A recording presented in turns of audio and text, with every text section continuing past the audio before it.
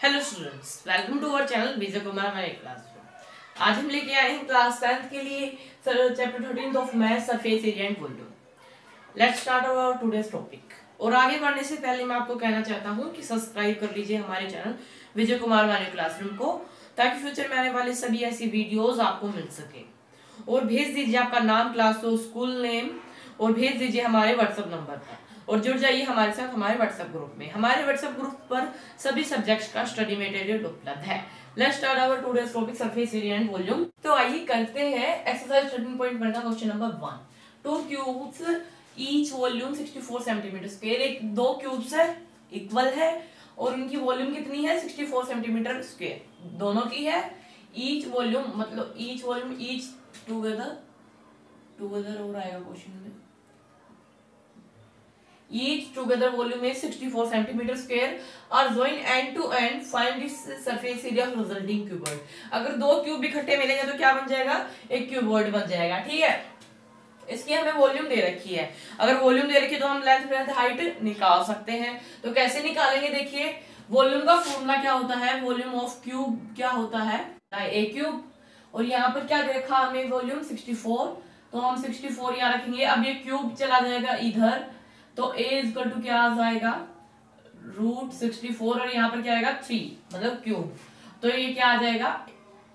Four तो a equal to हमारी side कितनी आ गई? फोर तो हम यहाँ पर क्या पुट करेंगे? फोर अगर ये भी फोर है तो इक्वल क्यूब है तो ये भी फोर ये भी फोर तो इसकी लेंथ कितनी हो गई? एट सेंटीमीटर हाइट कितनी हो गई? फोर सेंटीमीटर और ब्रेथ भी कितनी होगी फोर सेंटीमीटर ठीक है?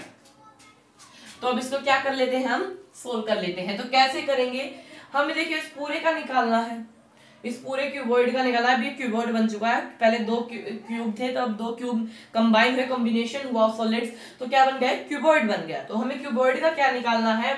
सरफेस एरिया निकालना है। अब हमें ये कैसे पता चले कि टोटल सरफेस एरिया निकालना है कर्व सरफेस एरिया देखिए, हमें जो अब इसमें हम चीज़ छू सकते हैं, जो ये मिल चुके हैं तो हम इसका टोटल सरफेस एरिया ही निकालेंगे, क्योंकि हमें सब कुछ गिवन है तो हम कर्व सरफेस एरिया क्यों निकालें? हम टोटल सरफेस एरिया निकालेंगे, ठीक है? कहने में ही आएगा कि हम सरफेस एरिया निकालने हैं, पर आप समझ गए ना कि हम इसका क्या निकालेंगे? टोटल सरफेस एरिया तो total surface area of a cuboid का फॉर्मूला क्या होता है? Two into l b plus b h plus h l तो हम क्या करेंगे? देखिए, पहले इसकी लेंथ कितनी हो गई? एट सेंटीमीटर हो गई। लेंथ कितनी हो गई ये? ये हो गई एट सेंटीमीटर और हमारी ब्रेथ कितनी हो गई? ब्रेथ हो गई हमारी फोर सेंटीमीटर और हमारी ये हाइट कितनी हो गई? ये भी फोर सेंटीमीटर क्योंकि रहेंगे ना वो तो? क्योंकि हर साइड कितनी है? फोर की. तो लेंथ ब्रेथ हाइट सब कुछ इक्वल रहेगा, पर ये क्यूबॉइड बन गया तो इससे चेंजिंग हुई है. तो हम इसको इस फॉर्मूले रखेंगे तो हमारा क्वेश्चन आ जाएगा. सॉल्यूशन तो क्या करेंगे? टू इंटू हमारी लेंथ कितनी है? एट है। हमारा, हमारी ब्रेथ कितनी है? फोर है। प्लस में हमारी ब्रेथ फोर इंटू हमारी हाइट भी कितनी? फोर। प्लस में हमारी हाइट कितनी है? फोर और हमारी लेंथ कितनी है? एट। तो उसको सोल्व कर लेते हैं। टू इंटू एट, आठ चौका बत्तीस और ये चार चौक सोलह प्लस आठ चौका बत्तीस। बत्तीस और बत्तीस चौसठ और सोलह अस्सी तो ये हो गया, अस्सी दूनी कितना होता है? एक सौ साठ। और यूनिट क्या लगेगी?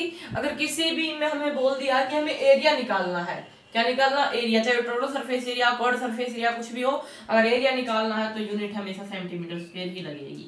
ठीक है? आई होप आपको आज का सेशन बहुत अच्छा लगेगा। समझ में आया होगा कि कॉम्बिनेशन ऑफ़ सोलिड्स क्या होती हैं। अगली वीडियो में हम क्वेश्चन नंबर टू भी लेके आएँगे थर्टीन पॉइंट वन का। फिर आगे क्वेश्चन होने के बाद पार्ट टू लेके आएँगे। जो हमारा जो कॉम्बिनेशन ऑफ़ सॉलिड जो हम 13.1 में पढ़ेंगे और फिर 13.2 का भी इंट्रोडक्शन लेके आएँगे। अगर आपको इस क्वेश्चन से या फिर हमारे आज के सेशन से कुछ भी प्रॉब्लम या क्वेरी है तो प्लीज़ कमेंट सेक्शन में लिखिए। We value your feedback this is